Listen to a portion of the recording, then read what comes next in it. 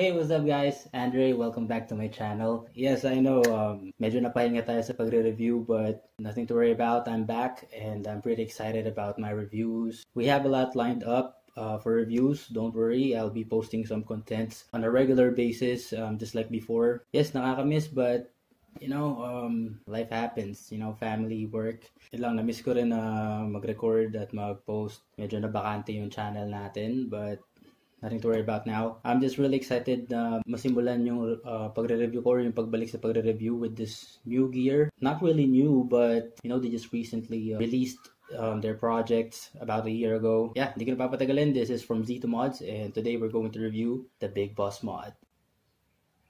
Alright, pahipak muna. Shoutout pala, um, Juice Costumix. This is Flan de Pudding. Huge shoutout pala sa Vapors Icons para sa Juice. Sa kanila ako bumili. And sakto meron din sila nung MDL.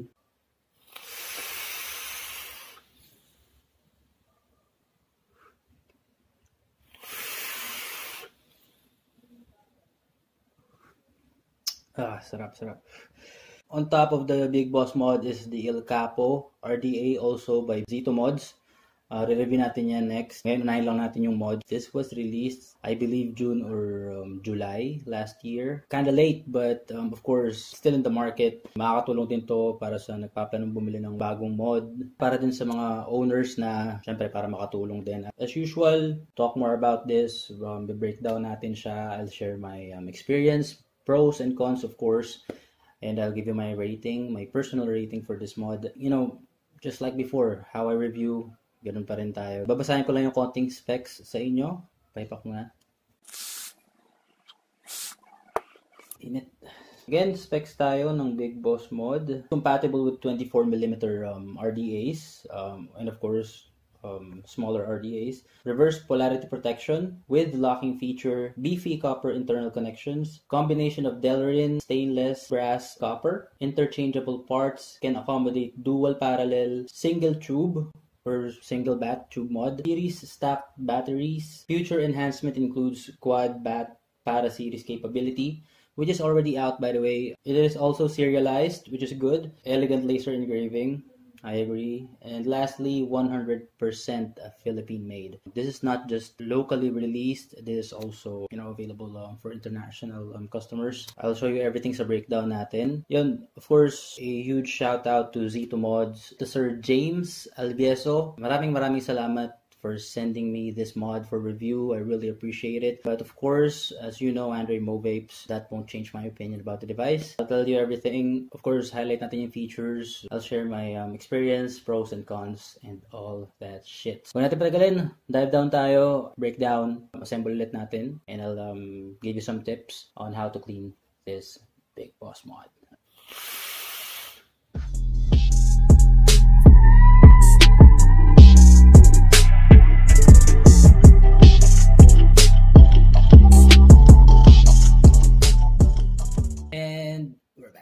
There you go guys, that will be um, my breakdown, assembly, and also the walkthrough sa parts ng uh, Big Boss mod. I'm using the El Capo, also by Zito Mods. Build is DC wires, 24 gauge fuse Clapton, 5 full wraps, 3mm guide, reading at 0.08 ohms. Be careful, especially sa newbies. Build is too low. Ako prefer ko lang talaga yung hot build. Open lang sa airflow is bottom, straight bottom. Mas gusto ko lang yung dense and warm to hot vapor. And of course, mas flavorful. Pahipak muna.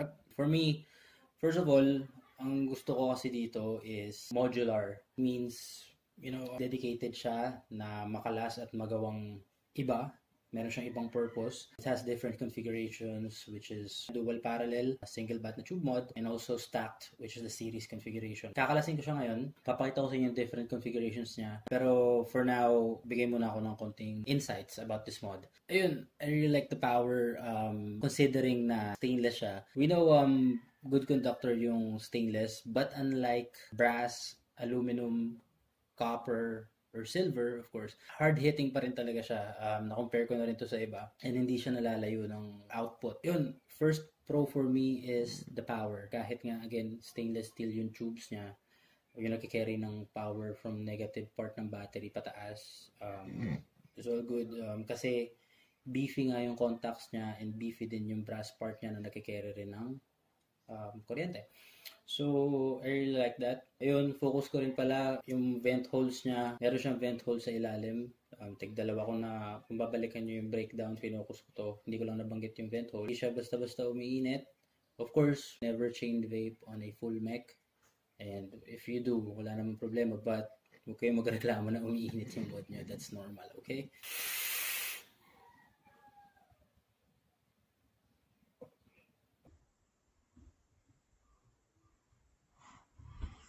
So, ayun, locking feature niya.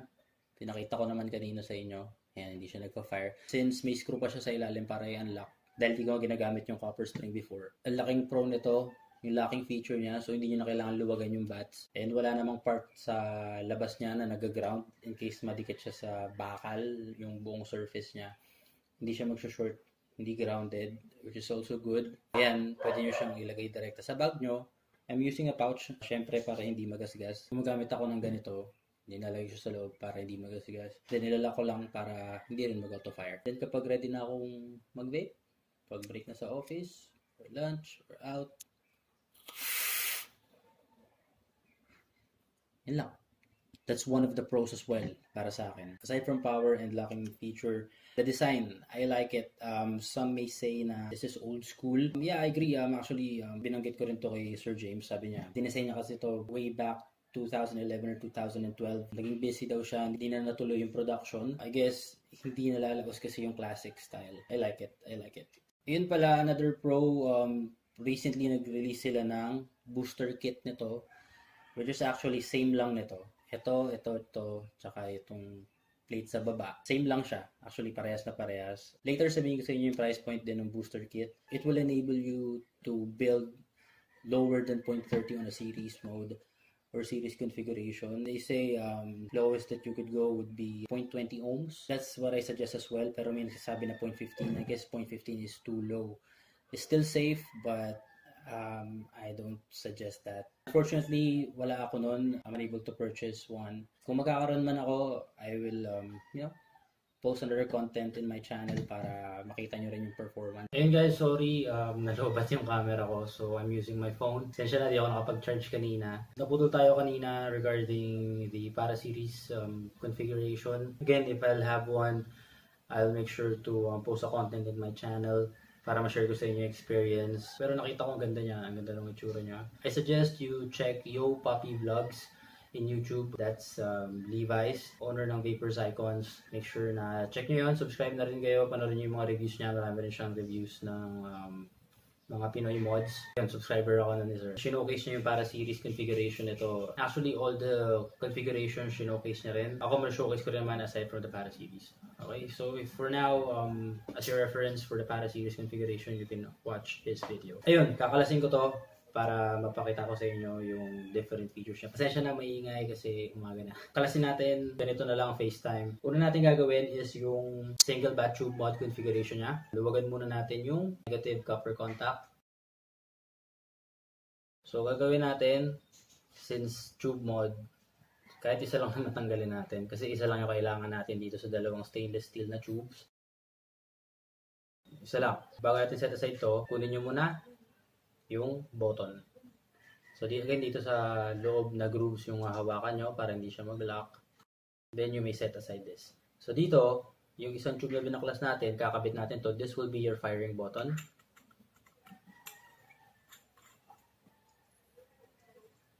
Ayan, lock muna natin siya. Nakalock siya. Then, ito, yung negative um, or yung battery cover niya, gawin natin, tatanggalin natin muna yung copper spring, tabi natin.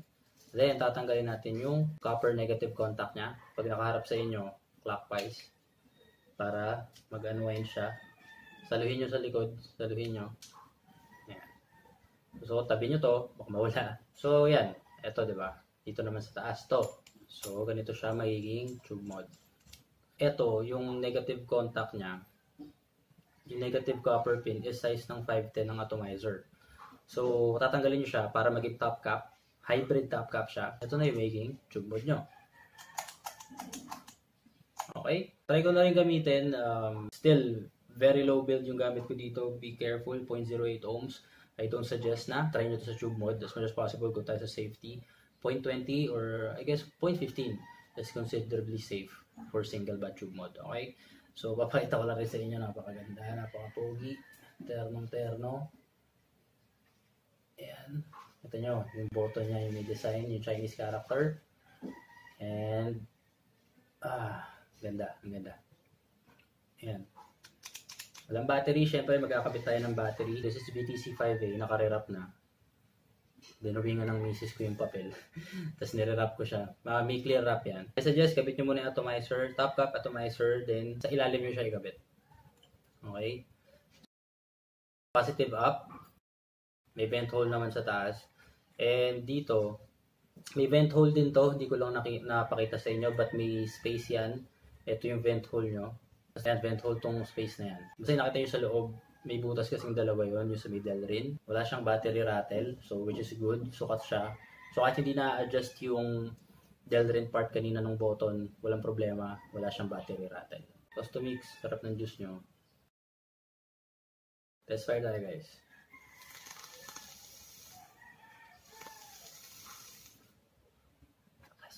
So, yung power niya, since hybrid, And beefy rin yung upper contact niya. Lakas. Soft touch lang. Bilis ng ramp up.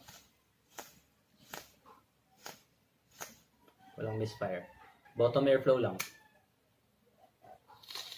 Plug check.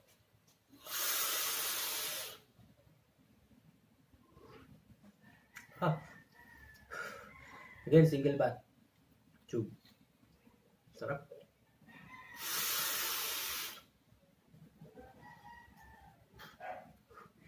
Hindi siya nalalayo dun sa power ng parallel.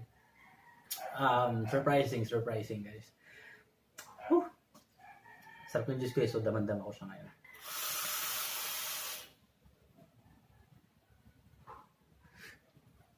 Clouds, man.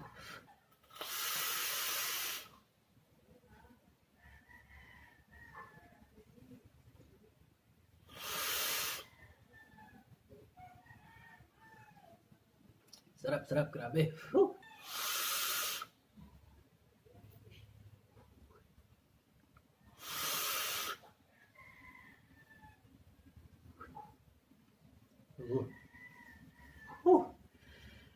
Sarap, grabe. I really like this setup. Tingnan nyo naman, sobrang compact. Liit lang, handy. And ako, I um, personally prefer, you know, tube mods, single bat uh, whenever, um, you know, parang everyday carry. You know, walang misfire guys. Ang. Lakas. Sorry, nalibang ako kakaipak. Pero yan, this is the single bat configuration ng Big Boss Mod. Sobrang lupet, bagay na bagay sa El Capo RDA. Tama, nakakalasing ka na, na-enjoy ko masyado. Um, gagawin naman natin yung series configuration. Kalasin natin yung button. Ito na matitira, di ba? Tabi muna natin. Balik tayo dun sa sinet-aside natin na remaining parts ng Big Boss mod. Ano natin to. Since mag-series tayo, dalawang tube yung gagamitin natin. So, dalawa na siya. Question is, paano magpapatong to? Paano magko-connect? Ganito lang. Yung natitira rito sa taas, tatanggalin nyo tong isa. Then, kakabit natin to. It could go either way. Walang problema. Ito. So, dito, kapag hindi nyo na nakikita yung thread, stop muna kayo dyan. Then, eto naman. Kabit nyo siya. Sobrang smooth ng threading, hindi sumasabay itong brass na connector. Sobrang smooth kasi niya. So, bigyan nyo, lagyan nyo muna ng gap. Then, ipasok nyo na yung merid.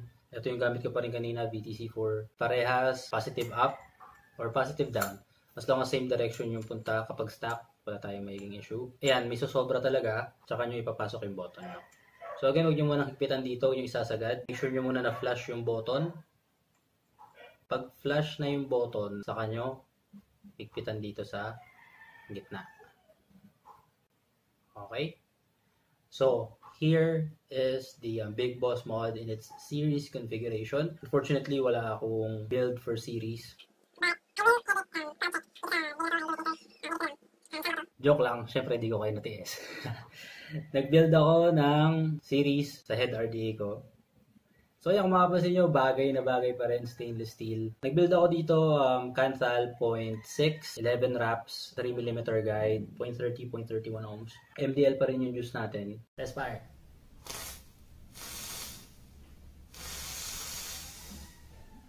Wala. Same battery na gamit ko kanina dun sa dual parallel. Cloud check tayo, short drag lang. Medyo malakas talaga siya. Point out ko lang, ayan, naka-unlock siya, di ba? Pero pag binababa niyo siya, since maganda yung spring niya sa firing button niya, hindi siya nag-auto fire. But of course, considering safety, make sure na ilalak ko siya bago siya ilapag para di mag-auto fire. Baka masanggi nyo kasi, but ito, ilalapag ko siya. Yan, di siya nag-auto fire. Ayan. LBC box. Papatong ko siya. Hindi siya nag-auto fire. Okay. Sorry. Hawa ko lang. Nakasuspend. Pero kapag diniinan siya, pero pag ganyan lang, kahit dalawang baterya na yun, mabigat yung materials, hindi siya nag-auto fire. So, maganda. Nag-hold up naman yung spring niya. Kanina pinakita ko sa close up, ano siya, makapal and um, mahaba. So, maganda talaga. So, quick cloud check lang. Di ako tatagal kasi so, Ewan ko lakas. So, medyo mabilis ako lang binild. Um, I should have used um, Clapton para mas mataas siguro resistance. More on the safe, safer side siguro around 0.40 yung sweet spot ko kapag uh, series. And never go below 0.30 as much as possible para wala tayong issue kapag naka-series kayo. Okay? Quick cloud check.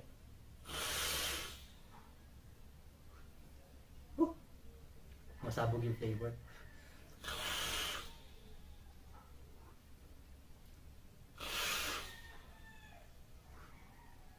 Huh? Tiyo agad, lakas. Lakas niya, di ko man long drag. Huh? Wide open pala yung airflow ng head.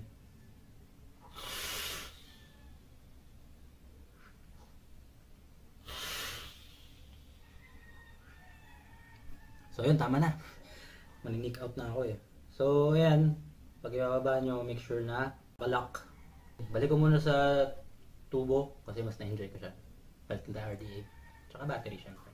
Ayun, nakita nyo naman yung different configurations ng um, Big Boss mod. Tube mod ulit tayo. El Capo ulit. Yung build pa rin kanina. VTC 5A pa rin.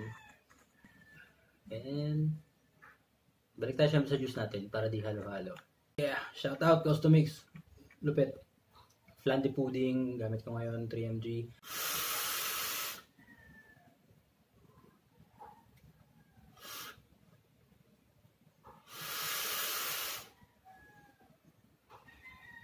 Grabe na ilo ko yun sa series. And yun pala Sir James, sayang di ko nasuot yung um, Big Boss na shirt. Maraming maraming salamat pala doon. Uh, nasama sa laundry kanina, nagpa-laundry kasi ako kanina since rest day, you know. Yung mga pros na nasabi ko na kanina, tugtungan ko lang. Again, para series configuration. I'm really um, looking forward na magkaroon din nun syempre. Para ma-share ko rin sa inyo yung insights ko. Another pro pala, um, hindi ko nabanggit kanina is upgrades. Marami silang upgrades na wino-work on ngayon. We'll never know, they might release, you know, a different material for replacement kung saan man, I don't know yet. Well, latest release nila is for the El Capo RDA. This is the Apollonia. The um, resin drip tip na super pogi kulay gray siya. Hindi natin masasabi, they could release, you know, a different material for the tube mod, possibly brass, copper, or whatnot. I don't know, maybe may kulay na stainless steel. Um, let's look forward to it. Hopefully, diba, mag-release din sila. That's one of the good thing about Sir James' design. Since modular siya, everything is replaceable. Ano ba ba? Um, well, as you can see, the power on different configurations, sobrang lakas pa din. Again guys, stainless steel. Ramdam mo kasi yung voltage drop eh kapag stainless steel yung material ng tubo. Um, but dito, hindi ako, wala akong reklamo. I guess talagang nag-isipan nila na wag i-sacrifice yung power by making the internals beefy. And yes, it paid off. Then, um,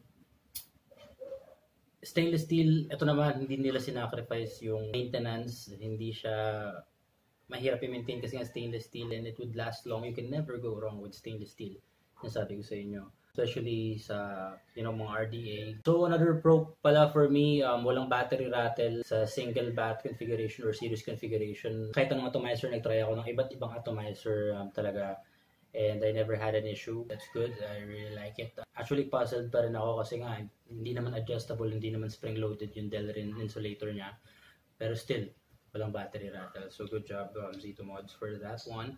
I'm loving this mod. I'm loving this mod uh, 100%. But of course, it doesn't mean na wala siyang flaws um, or wala akong concerns. Maybe nitpicking, pero I wanna let you know. As I mentioned, kahit this mod was sent to me for the purpose of this review, it won't change my opinion about this uh, device or this gear. Start lang ako sa cons ko with the misfire dito sa part na to. Sorry, nakakalasing dito sa part na to, yung spring niya dito, it will cause misfire. I can't say 100% na mag-misfire kasi nung nakuha ko siya, hindi naman siya basta-basta nag-misfire. Pero after a few days of use, nung ko na na-experience, I can't tell if nag-collapse siya or lumambot um, at some point.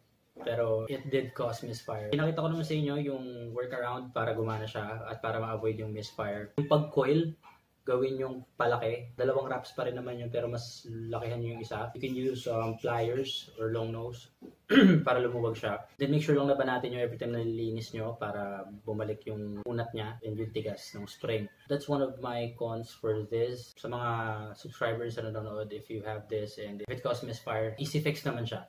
And yun, sa pinakita ko kanina, balik tayo dun sa series configuration naman niya. Ang concern ko lang dun is, meron siya kasing gap So ito yung tinanggal ko yung part kanina magkadugtong to, 'di ba? Meron siyang gap na ganito, yung bigla siyang magiging payat. Um, ewan ko, na-OC lang ako kasi may gap siya. I'm, I'm really hoping na meron silang um, ring na siguro yung butas-butas din na ring na ganito.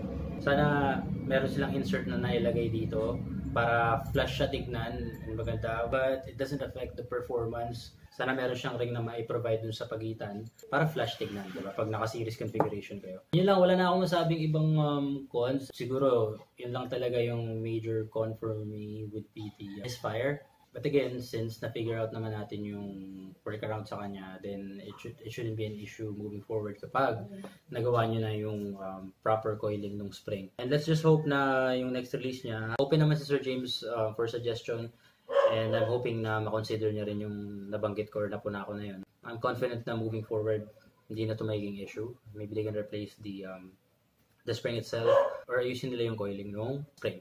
Yun, punta tayo sa price point ng Big Boss Mod. Its retail price is at 6,900 pesos. Yes, it's pricey, but with all those configurations that you will get out of this mod, it's really worth it, guys. Imagine, um, bibili kayo ng single bat na tube mod. I guess the most affordable, um, or at least one of the most um, affordable uh, tube mods out there, and also hard hitting, would be the Izanagi. I have the uh, Izanagi version 1.2 retailing at 2,200 pesos. Sana yun, may tube mod ka na for 2,200. Then, um, let's say bili ng um, dual bat na parallel. Pinakamura ko nakita, I guess, is 3,500. Um, palagyan natin 3,000.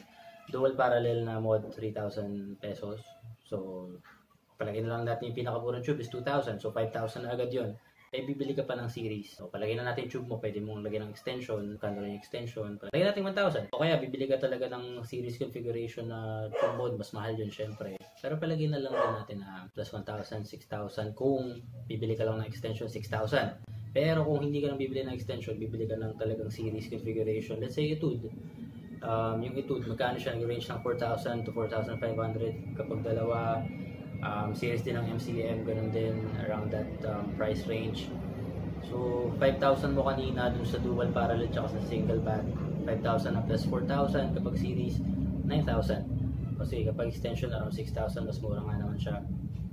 But, um, still, having this all-in-one mod that I can use in different configurations, as you can see, and also nakaabang yung para series configuration niya. Having this mod will give you a lot of options. Depende sa trick mo. If you wanna go compact, still hard hitting, just go with the single bat configuration. If you wanna do lower ohm builds, then go for the um, dual parallel configuration. And if you wanna, you know, um, warm to hot vapor na talagang in-your-face flavor, I suggest go for series. Um, really versatile uh, mod. Punta na tayo sa rating. First, I, I would like to um, let you know na I'm considering the upgrades that are coming up. For the possible upgrades, since I know na pwede pang mabago yung itsura niya with, um, you know, after sales upgrades, then I will not take it against them. I mean, the design. Um, some will say na luma yung design, ang old school. I prefer calling it classic classy and classic. So para ka lang naka ano niyan eh, naka muscle car naka Mustang, naka classic BMW na tracker na motor. Alam mo yun, some of you might not like it. Uh, personally, I like it.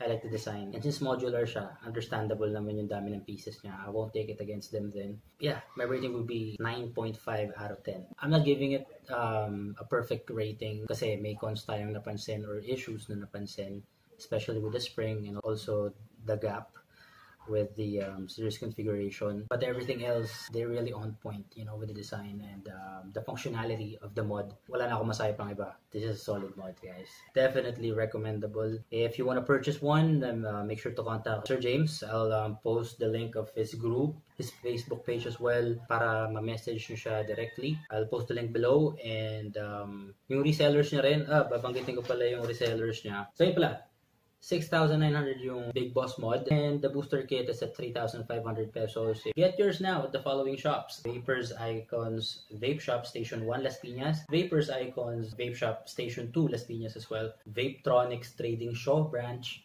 in Shaw Boulevard, uh, Mandaluyong. The Tiny Vape Shop Marikina. Vapors Sidewalk Caloocan. These are the um, uh, retailers locally. They also have one in Japan. Vape Hills, Japan. Again, I'll post the link to their group um, Zito Mods Pilipinas. They also have a uh, Facebook fan page which is Zito Mods. Hindi ko lang kung sino retailers nito but I guess sa mga nabanggit na retailers, I believe they also have this um, Zito wires, stainless steel 316L. What I have is the um, 22 gauge and the 24 gauge. Also, good quality wires. Again, malambot. Uh, madali siyang i-build madaling i-coil manually. I don't have a coil jig. Mas gusto kasi yung kino-coil talaga sa screwdriver. Saka, yun, mas prefer ko siya, mas fulfilling kapag narap niyo ng maganda. Wala ako naging issue and hindi niyo na kailangan i-torch. As we all know, springy yung stainless steel na wires. Even with the higher gauge, the 24 gauge, wala ako naging issue. Wala doon sa mga shops na nabanggit, um, make sure to uh, send um, Sir James a direct message for orders especially for shop owners, you might want to inquire as a distributor or a retailer. Wala rin tayong issue dyan. Sir James really accommodating, um, very down to earth, and um, one of the kindest modders na na-meet ko. Again, kudos sa technical support ng Zito Mods. Um, yun, 10 out of 10. Yung masasabi ko, yun lang. That will be my uh, full review for the um, Big Boss mod by Zito Mods. Hopefully nakatulong tong um, video na to para sa mga nagpaplano na bumili ng Big Boss mod. Sa mga owners na, hopefully nakatulong rin yung mga tips. That will be it. Um, of course, advocacy tayo always vape on, vape safe, and vape smart. Suporta lokal, always, always support local um, or Pinoy-made products. Um, regardless, kahit hindi vaping products, um, suporta natin yung isa't isa. Always, always support your local vape shops as well. Tayo-tayo lang magkakasama rito, tayo-tayo lang din magtutulungan. Kahit maraming event, yun, supportahan pa rin natin yung mga vape shops natin, your daily vaping needs. Um, yun, tulad ng Vapors Icons, kay Sir Levi's, maraming maraming salamat sa pagtulong sa akin kahapon. Actually, nagpa-grab ako ng juice. Ito, yung MDL tsaka yung Customix.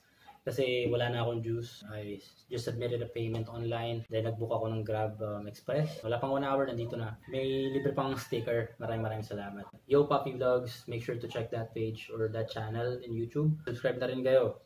But of course, don't forget to subscribe to my channel. Of course, comment, like, share, and subscribe. Once you're already subscribed, make sure na naka activate yung notification bell para pag may bago tayong content or bagong pinublish na videos, make sure na ma-notify kayo ni YouTube, okay? Don't vapor, you can't smoke, um, especially ngayon, mas nire-reinforce na nila yung um, smoking ban. Always vape on designated areas only. Especially ako sa BGC ako tatrabaho and mas mahigpit doon. Minsan kahit medyo malayo nilalakad ko if I really wanna vape. Huwag tayong maging pasuway, huwag, huwag maging matigas yung ulo.